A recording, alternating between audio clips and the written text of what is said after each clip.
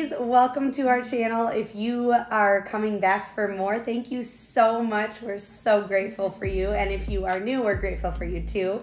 But I am Esther. And I'm Amanda. And today we are bringing you another crafting video.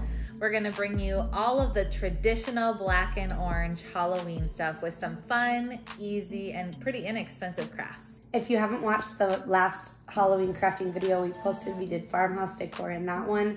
We will put a link to it in the corner, so make sure you check that out as well. All right, let's get crafting.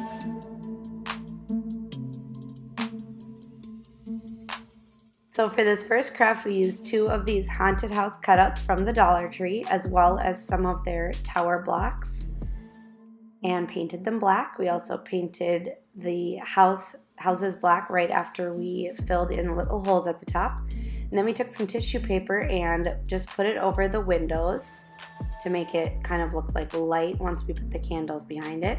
Then we cut out a little piece of brown paper and put some lines on it and that was gonna be for the front door.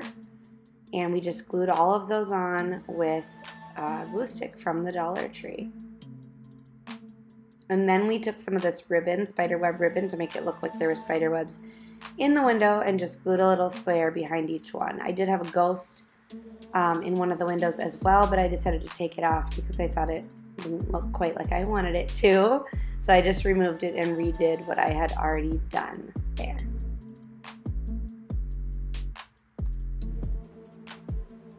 All right, and then she used a hot glue gun to glue all of the tower pieces to the back of the house. And she just spaced them out to make it supportive all the way around and then glued the other piece on top. She used one more block to put in front of the door to make like a front step and used this little foam pumpkin as well just to make it look extra cute. Glued that on. And here you'll see the finished product with the candles in. How cute is that, you guys? I love how simple it is. It looks so cute. All right, so this next next craft was a pumpkin from the Dollar Tree. We took off the embellishments and sandpapered it, and then we painted the pumpkin black and the stem gold. We took these spiders from Dollar Tree as well. You, you might have seen these in the previous video. Cut them, cut the ring portion off. And we don't have a lot of footage of this, but we did, we painted that black and we wrapped it in the same spiderweb tulle from the Dollar Tree, which is why we wanted to do the spiders as well. So here you'll see that all put together and we apologize for the lack of footage. And then yes, there was a cute little black bow that Esther put on there as well to just really make it look cute and classy. It does look so classy. All right, so for this next craft, we took this door hanger from the Dollar Tree with two witch legs, a really cute dishcloth, and a tray and we cut the dishcloth, I guess it's a dish towel, down to fit inside that really cute tray. We're turning it into a sign. So we just cut the edges off nice and neatly and then we did take a lighter and just burn the edges a little bit so that they wouldn't fray once we glued it down to the sign.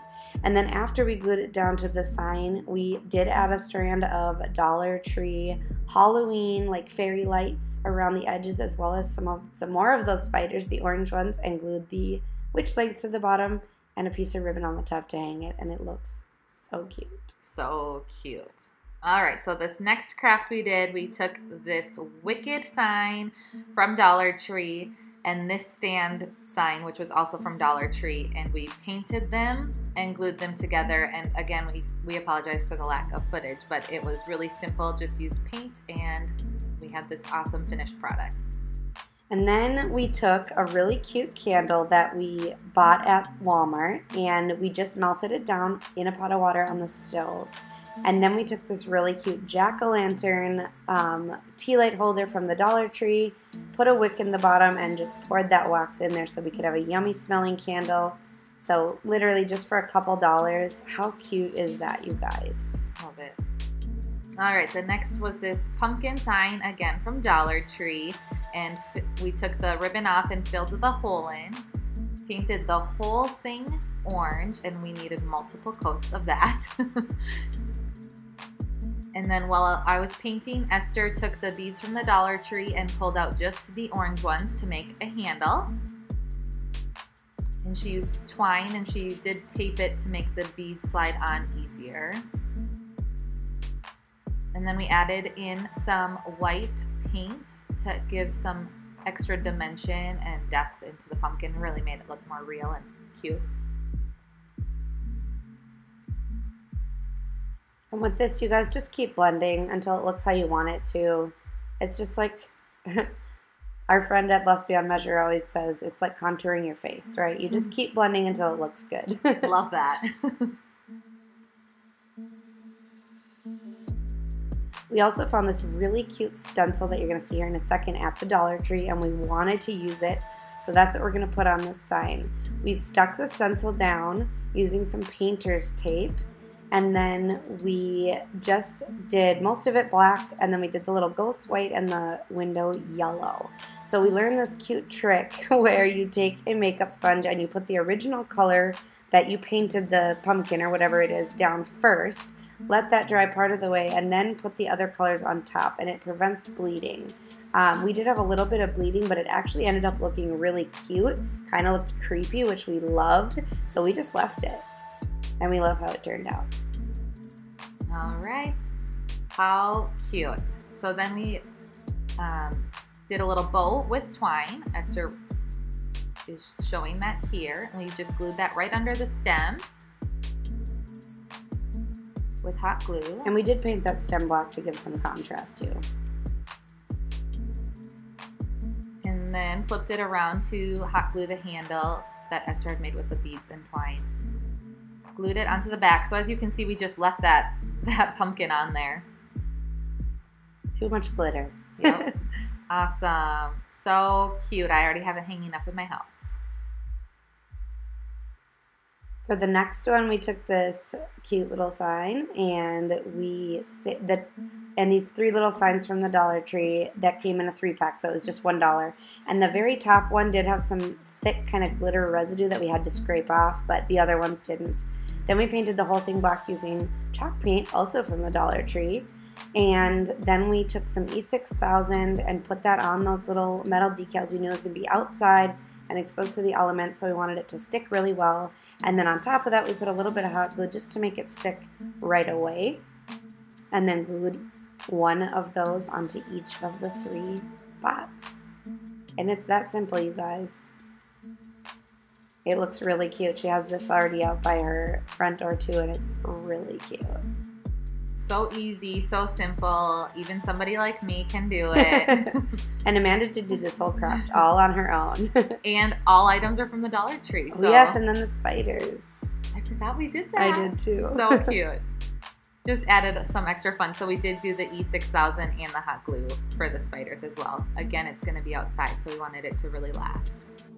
All right, the next craft was this bucket from Dollar Tree and these stickers from Target Dollar Spot. And we spray painted the bucket orange with just orange spray paint and used transfer paper to lift up just half of that sign because the whole thing wouldn't fit. I struggled with the transfer paper for quite a while, um, but it worked really well once Esther showed me the ropes. So then we just peeled the backing off the transfer paper and just stuck it onto the bucket. And if you don't have transfer paper, you can actually just use contact paper from the Dollar Tree. That works just as well. They have some clear stuff. That's a great alternative for cheap. And this, again, this looks so cute all by itself, but we just wanted a little bit extra. So we took that um, spider tulle, again, that was from the Dollar Tree. You've seen it used in some of our crafts already. And we tied some bows onto each handle just to give it a little extra something.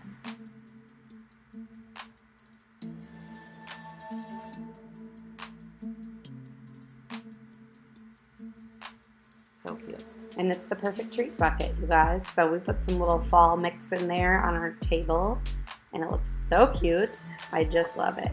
The next one could not be any more simple, you guys. You take a candle pillar holder and that little candle holder at the top, the pumpkin one, and glue them together and tie some ribbon on, put a candle inside, and you have a like 30 second craft that looks super cute and really high end for only two bucks. This is another really simple one. We took these little plants from the Dollar Tree, these little succulents, and we spray painted them black.